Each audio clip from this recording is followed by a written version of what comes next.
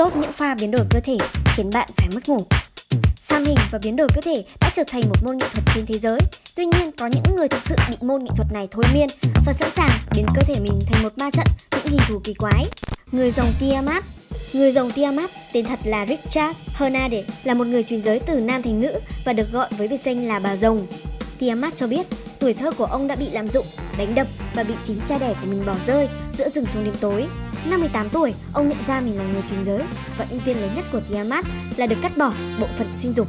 Khi đang ở đỉnh cao sự nghiệp với vị trí phó giám đốc, một trong những ngân hàng lớn nhất nước Mỹ, Tiamat quyết định sống với đam mê của mình và bắt đầu trải qua những cuộc phẫu thuật cấy ghép sừng đầu tiên, sau đó là hơn 20 cuộc phẫu thuật khác gồm cắt tai, chẻ lưỡi, khuếch mũi để giống nhân vật Voldemort trong Harry Potter, biến lồng trắng mắt thành màu xanh, nhổ bớt răng, mài chúng thành nhọn, cùng vô số hình xăm mô phỏng vẩy của loài bò sát. Tiamat hy vọng sự biến đổi cơ thể của mình sẽ trở thành nguồn cảm hứng cho những ai dũng cảm sống thật với con người của mình.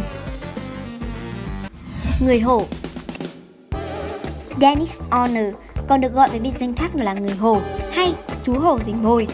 Vốn là một cựu chiến binh, Dennis luôn bị ám ảnh bởi hình ảnh của loài mèo hung ác, đặc biệt là những chú hổ. Sau khi về hưu, ông đã quyết định trải qua hàng chục cuộc phẫu thuật và mong muốn được biến thành người hổ, mà cụ thể là giống một con hổ cái. Những cuộc phẫu thuật của Dennis bao gồm việc xẻ đôi môi trên, làm mũi phẳng hơn, làm cho tai dài và nhọn ra, bơm silicon vào má, ngực, cấy râu, lắp đuôi máy, cấy răng nhọn và xăm khắp cơ thể để giống loài hổ nhất.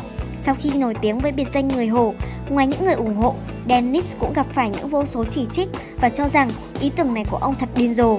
Cuộc sống của Dennis Honor gặp nhiều vấn đề về tiền bạc, ông cũng có vấn đề về tâm lý. Thế nên, ông đã tự tìm đến cái chết ở tuổi 54. Khuôn mặt bàn cờ Masken có biệt danh là người đàn ông chơi cờ bởi khuôn mặt của anh được xăm theo hình bàn cờ vua do một vài vết dị tật bẩm sinh và Matt luôn muốn che giấu nó lại. Thế nên, anh đã quyết định bao phủ 98% cơ thể mình bằng hình xăm. Matt cho biết trên cơ thể của anh chỉ còn lông bàn chân là chỗ duy nhất anh chưa động tới, đến cả đôi mắt. Matt cũng biến nó thành màu xanh. Để làm nên kiến tác này, Matt đã bỏ ra hơn 65.000 đô, tương đương với khoảng 1,5 tỷ đồng, với tổng cộng hơn 500 giờ nằm trên bàn xăm.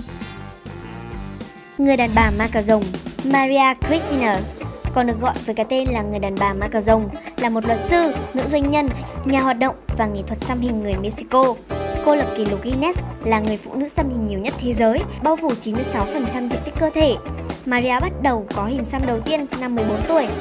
Tuy nhiên, quyết định xăm hình khắp cơ thể đầy táo bạo của cô chỉ được đưa ra sau khi cô bị lạm dụng, đánh đập từ cuộc hôn nhân đầu tiên. Cô xem những hình xăm trên cơ thể của mình là biểu tượng cho sự mạnh mẽ, dũng cảm và sự tự do.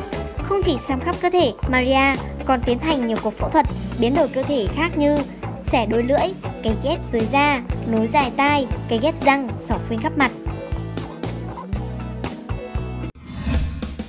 Chris Kenneth được gọi là cậu bé zombie, là một nghệ sĩ, diễn viên, người mẫu thời trang và nhạc sĩ người Canada.